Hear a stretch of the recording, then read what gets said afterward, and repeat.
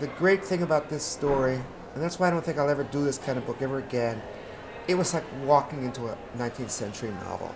It was like living a novel. You know, a Balzac novel. You know, about the, the you know, Vautrin and the invested. Yeah. And, and, and also, but also crime and punishment, that kind of, ah, uh, there was just such haunted characters in the case, and also such noble characters.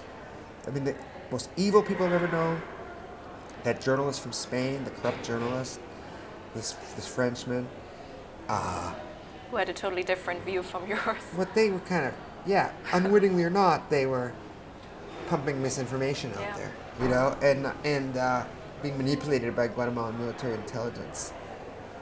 And uh, um, you know, it might have been unwitting. I don't know. You know, and and and obviously the Limas, these these these narco military men, to all of a sudden have them leaving messages on my phone in Brooklyn. It was crazy. It was an immersion in a very dark, violent world. And there were times when it would take you over.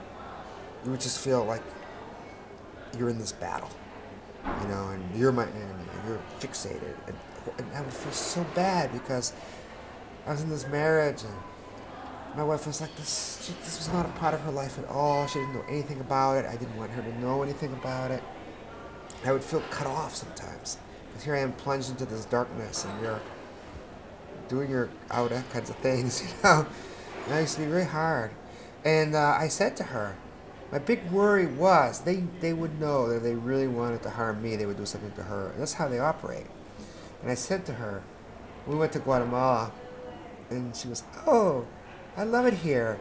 Let's come back next summer and rent a, a house on the beach, on the lake. And I said, I want to take a good look around because you are never coming back here. you know, once this book is out, you are never coming back here. You know, and not only that, we're not going back to Mexico next summer because I think they can find us in Mexico if they want to. So we're going to France for the summer. Let's talk a little bit about the structure of the book. I know it's nonfiction, um, but um, it's. I kind of had the feeling while reading through the book, um, you give so many details as well. You give details about the weather, for example, uh, or how people looked like, how you felt, very personal um, information. Um, where do you actually place yourself um, between fiction and nonfiction? Well, I, I mean, I think this book is is written the way it is because I'm a fiction writer, and so I understand that the art of fiction is to create a to create an illusory reality out of words, out of details, out of convincing human gestures that people read and believe and think that that's real. And for a nonfiction book to have maximum authority, to really make the reader believe, you know, um, you have to employ the same arts as a novelist. And then I realized that that's really what a great prosecutor does in some ways. I mean, the prosecutor is a different end than the novelist, but he still has to assemble a narration. And that narration is based out of human gestures. Why did they do it? What did they do? And the evidence, concrete details that proves that they really did do that. And this, I was fascinated by that similarity. You know, building a case. I think that's why novelists love often, you know, great detectives and, and, and really smart prosecutors because and there's some and there's a lot that's that's kindred in what we do. We're assembling narratives narrators that rely so much on our ability to seem credible. I was wondering when I read through the book and you meet all those really corrupt and violent people, um, has it somehow shaped your view on humanity as well? In terms of trusting people, for example? um, it taught me what, what real evil is. You know, I still, you know, the United States is often such a, and probably England, it's such a relativistic culture. There's not real evil. There's just people who make mistakes. their upbringing, you know, whatever, you know. No, they're really bad people, you know, who rejoice in causing suffering or are motivated by just pure greed and ideological fanaticism. I don't say to say he's a killer because an ideological fanatic. I don't think that excuses him. I think it's a form of evil, you know. And so, and I just in case of people like Captain Lima and some of the other people in that case, even certain journalists, you felt a kind of in Spanish maldad. I don't know what the English language would be. A real love of evil. No, almost satanic, because evil is evil is a form of beauty. Right? Evil, evil is evil is a form of beauty devoid of the moral content that we're used to applying to the word beauty. But it has form. It has coherence. It has weight. It has a sheen. And you can see why people become addicted to it.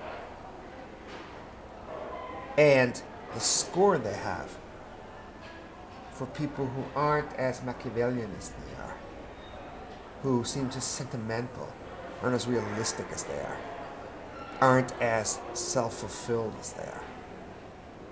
Real killers, real criminals, you know, and and and and and this case really puts you in touch with that that that horrible side of human spirit, but it also puts you in touch with every other kind of person. And I mean the full rainbow. You know, uh, from the most wicked to someone like Claudia Mendez, the young journalist who believes in God. She's an angel. Finally, Francisco, do you want to tell me something about your current future projects?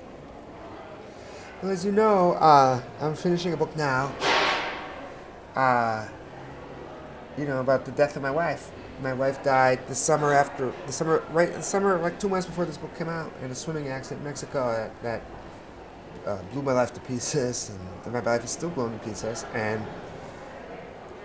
I've been writing about the book certainly not as therapy because it's not therapeutic more just because and again this happened to me and I'm a writer. My only way of processing things my only way of responding to things is to process them into writing. And, and, and uh, I, I'm about to finish this book.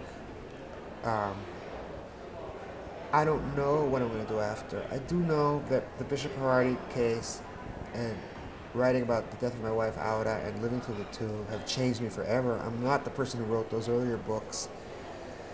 Um, I don't know what it's going to mean. I think I'm a more inward person now than I was before. I think. Um, have a sense of the reality of human suffering that I didn't have before. Now that I've, to be frank, you know, suffered so much myself, and, and I, it makes me feel closer. It makes me gives me a loyalty in a sense that somehow, you know, I have to uh, be close to that, you know, and and and and. and what it's going to turn into in future writing, I, I really feel like I'm starting over. I have no idea. We will wait. Thank you so much. Thank you. Thank you. It was a pleasure. Thanks. The more I read The Art of Political Murder, the more I felt as if I was reading crime fiction. With a very strong narrative, Francisco provides us with his personal and very vivid observations on the case. I get the sense that as a storyteller, he lets us participate in the most unlikely legal victory and the most unexpected triumph of Guatemalan history. Thanks for watching. I've been Yaena Kwon for Warwick TV.